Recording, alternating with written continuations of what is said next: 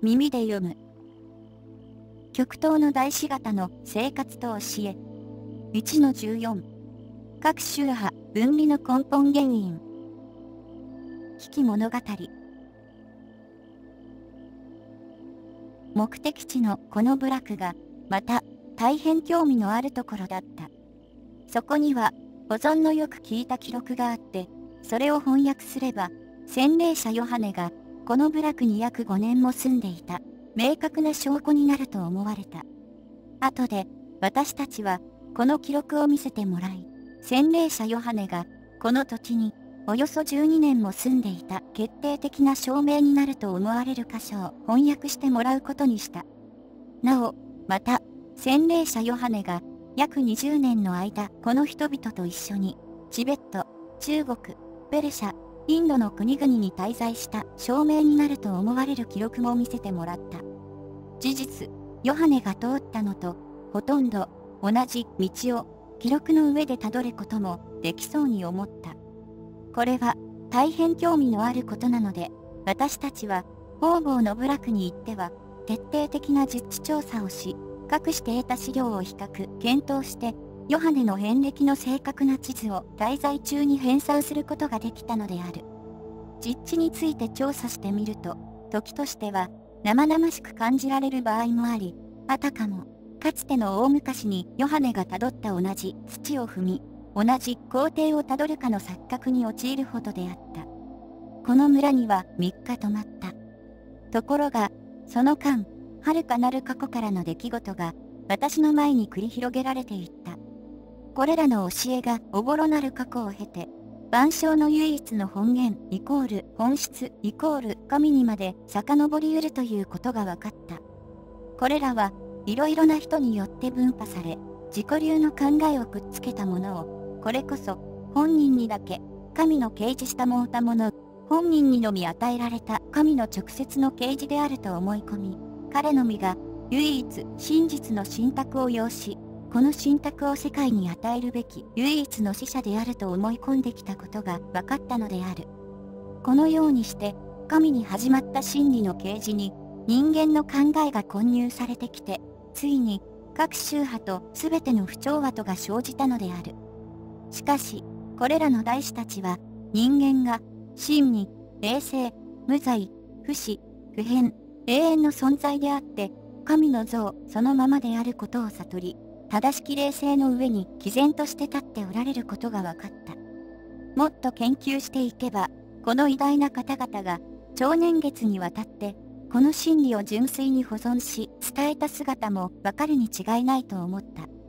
それでいて、この方々は、全知全能を自称することもなく、この方々の伝える真理を学ぶ者自らが証しし、大師たちと同じ技をなさない限り鵜呑みにするのを求めず、自らの成したもう技の他は、権威を押し付けようともなさらない。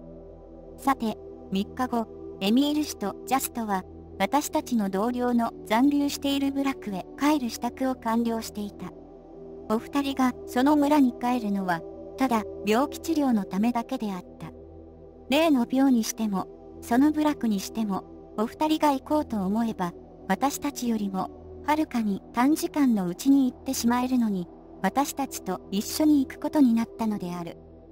部落には例の同僚たちが待っていた。彼らの雪男探索は土壌に終わったらしい。5日間も探し回ったが、結局、嫌気がさして諦め、部落に帰る途中、約1マイル先の峰の上に、空を背景にしている人間の形らしいものに気づいたが、双眼鏡を取り出すまでには、その人型は消えてしまい、ただちらっと見ただけだという。しかし、それだけでも、その人型が猿に似て、毛で覆われている感じがしたという。現場へ急行してみたが、もう、影も形も見えず、残りの半日を、紙片の探索に当てたが、それらしいものが発見されず、結局、探索を打ち切って引き上げたという。話変わって、私が自分の体験報告をすると、彼らも寮に帰りたがった。しかし、エミール氏の話では、いずれ、数日内に、これと同じ性質の病に皆揃っていくことになっているというので、同僚たちも帰りを見合わせることにした。雪男に一旦捕まってから救出された4人の男の知らせと一緒に、エミール氏とジャストの到着の知らせを、すでに、藩の妊婦たちが触れ回っていたので、近隣の土地から病気を治してもらいに、相当の人々が集まってきた。私たちは、翌日も一泊して、その集まりに出て、顕著な癒しの行われるのを実験した。その中に、前年の冬にやられたひどい片足の凍傷が癒された二十歳の娘もいた。その娘の足に新しい肉が実際に生え出して正常になっていくのを見た。彼女は完全に楽々と歩くことができたのである。二人の盲人も視力を回復した。そのうちの一人は生まれつきの盲目だったという。その他、軽症の病が癒されたのも相当いた。皆深刻な感銘を受けたようである。集まりが解散してから、エミール氏に外信者がたくさん出たかどうか聞いてみた。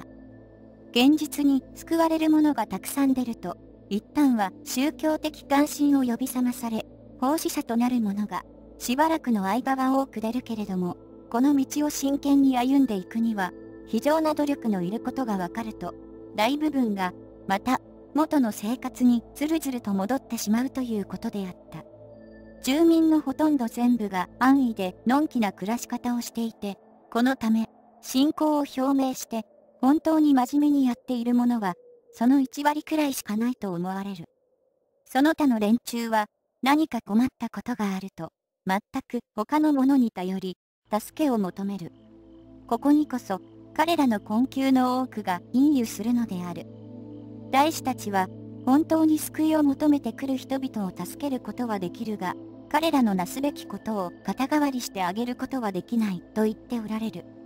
人々の前途に豊かさが待っていると言って聞かせることはできるが、本当に豊かになるためには、各々がこの真理を受け入れ実行しなければならぬとも言われる。